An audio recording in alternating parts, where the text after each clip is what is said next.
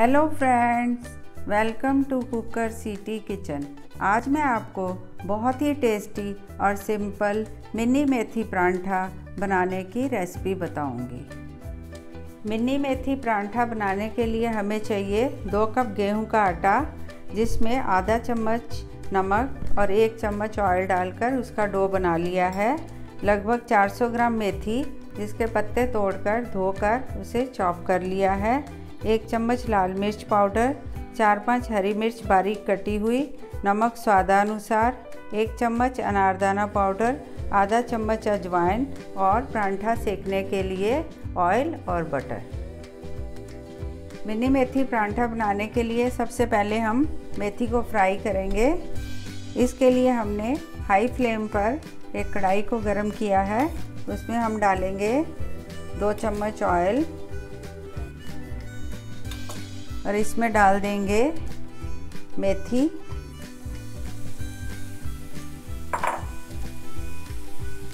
नमक। और इसे हाई फ्लेम पर फ्राई करेंगे ताकि इसका सारा पानी सूख जाए। ये देखिए, मेथी फ्राई हो गई है। इसका सारा पानी सूख गया है। अब हम गैस को ऑफ़ कर देंगे। और मेथी को एक बाउल में निकाल कर ठंडा कर लेंगे। मेथी ठंडी हो चुकी है। अब इसमें हम डाल देंगे हरी मिर्च बारीक कटी हुई, अनारदाना पाउडर। आप चाहें तो अमचूर पाउडर या चाट मसाला भी डाल सकते हैं। लाल मिर्च पाउडर,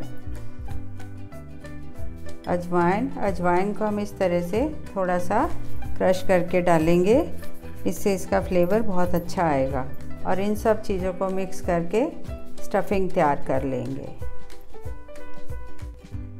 परांठे बनाने के लिए अब हम हाथ पर थोड़ा सा घी लगाएँगे और आटे का डो लेकर एक थोड़ा बड़ा पेड़ा बनाकर इसे सूखे आटे में लपेटकर इसे लंबाई में नान की तरह बेल लेंगे।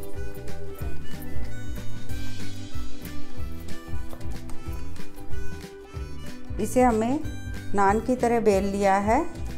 अब इसके ऊपर हम लगाएँगे देसी घी। मैं घी लगा रही हूँ, आप चाहें तो इस पर कोई भी ऑयल लगा सकते हैं। अब इसके ऊपर डालेंगे हम थोड़ा सा सूखा आटा। इसे इस तरह से फैला देंगे और इसके ऊपर अब हम लगाएँगे तैयार किया हुआ मेथी का मिक्सचर और इसे सारी रोटी पर इस तरह से फैला देंगे।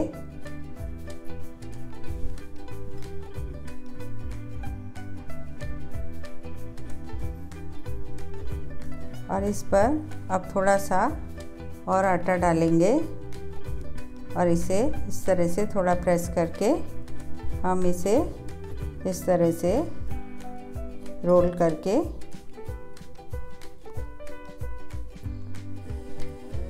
तैयार करेंगे। ये रोल तैयार हो गया है। अब इसे हम इस तरह से काट लेंगे। ये साइड का हटा देंगे, क्योंकि तो इसमें मेथी कम होगी। अब इस तरह से हम इसके पीसीस काट कर ये देखिए, और इसे हाथ से प्रेस कर देंगे। और ये देखिए, हमारा मिनी परांठा फ्राई करने के लिए तैयार है और इसी तरह से हम बाकी के परांठे भी तैयार कर लेंगे।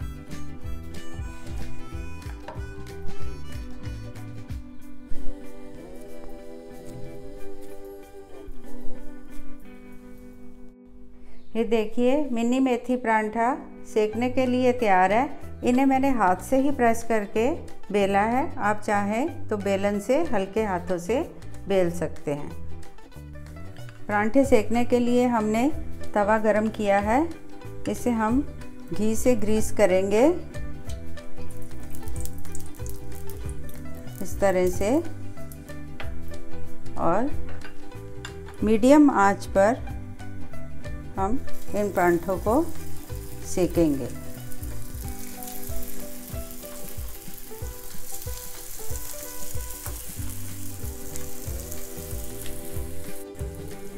इन परांठों को इस तरह से दबा दबा कर मीडियम आँच पर दोनों तरफ़ से गोल्डन ब्राउन होने तक फ्राई कर लेंगे।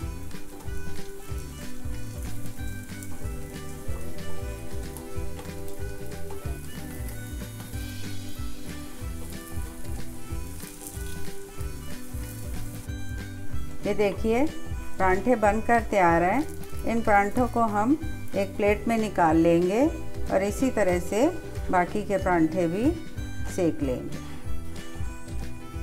फ्रेंड्स, मिनी मेथी परांठा बनकर तैयार है। इसे मैंने सर्व किया है दही, मक्खन और अचार के साथ।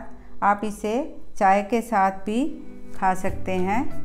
आप भी इसे बनाइए, खाइए, एंजॉय कीजिए। अगर आपको मेरी ये रेसिपी पसंद आई हो तो प्लीज़ इसे लाइक कीजिए, मेरे चैनल को सब्सक्राइब कीजिए, अपने कमेंट्स और सजेशंस भी दीजिए।